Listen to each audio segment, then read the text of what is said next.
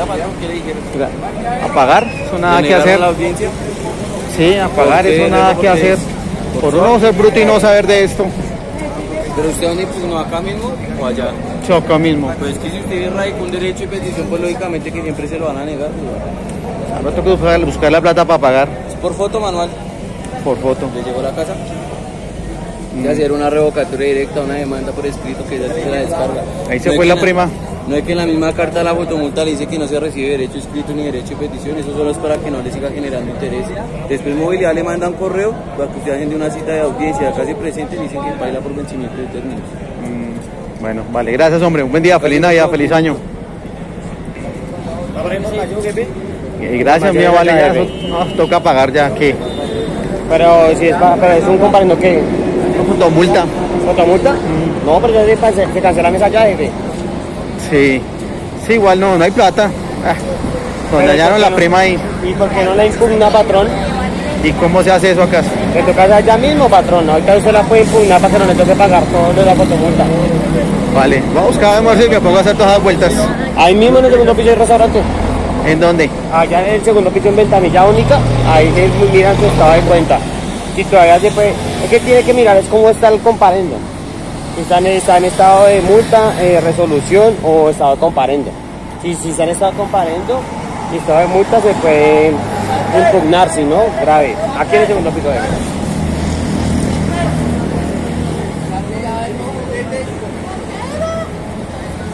¿Hace cuánto fue el comparendo? Como un mes. Todavía puede estar en estado comparendo. Acá a este lado. Todavía puede estado de comparendo. Eso quiere decir que sí se puede impugnar. Comparendo, Cuando se puede impugnar, pues ahí ya usted le. Usted lo radica en, la impugnada y ya. Vale, hombre, gracias. ¿Y para almorzar dónde, mijo? Acá en el segundo piso, patrón. Ah, listo. Ya le digo en qué oficina y eso no se demora nada en dar información. Muy bien, ya está ahora. Esta hora es almuerzo y, y once. Sí, porque ya está tarde. Cara larga es porque estamos en la Secretaría de Movilidad de Bogotá, de la zona industrial o Puente Aranda. Tocó hacer curso a ver si me descuentan por lo menos el 25% de la fotomulta. Una fotomulta que uno diría, bueno, un poco injusta porque transité por la avenida Boyacá con calle 131, iba a 56 kilómetros y el límite son 50. Bueno, obviamente no estoy de acuerdo, pero tocó pagar. Recuerden no perder su dinero pagándole a empresas que tratan de hacer algún tema jurídico para borrar esas fotomultas, pero realmente eso no se puede. El año pasado, hasta el 2022, regía una norma en que la Secretaría de Movilidad tenía que mm, establecer que el propietario del vehículo era el que iba manejando. Pues gracias a que muchos tenían tapabocas y gorras, era difícil identificarlos, o si usted le prestaba el vehículo a alguien y la persona cometía la multa, entonces se la borraban a usted. Pero eso cambió. Ahora la Corte dice que el propietario está obligado a velar por el buen uso del vehículo, o sea, sea quien maneje, si cae una fotomulta, el propietario sí o sí debe pagarla. La única manera de que le borren a uno, uno eso es que le hayan robado el vehículo o que le hayan suplantado la identidad. Y pues las pruebas hay que traerlas para que las cotejen y puedan eliminar la multa. Eh, gracias, respetemos las normas y que tengan un buen día. Estrechemos un abrazo con el compañero. Estrechemos un abrazo, les va a dar pena. Gusto en conocerlo, eso, mire. Siente uno como que, ay, sí, ¿será que lo hago o no lo hago? No nos debería dar pena, ¿sí o no? ¿Por qué nos va a dar pena estrechar un abrazo con alguien? ¿Por qué solo ese abrazo fraternal lo tenemos que dar consentimiento cuando alguien ya fallece? Porque ahí es donde uno da casi que un abrazo fraternal, cuando uno fallece. Usted ha llegado... Dentro de las historias que uno escucha en este cuento, hay trágicas y hay chistosas.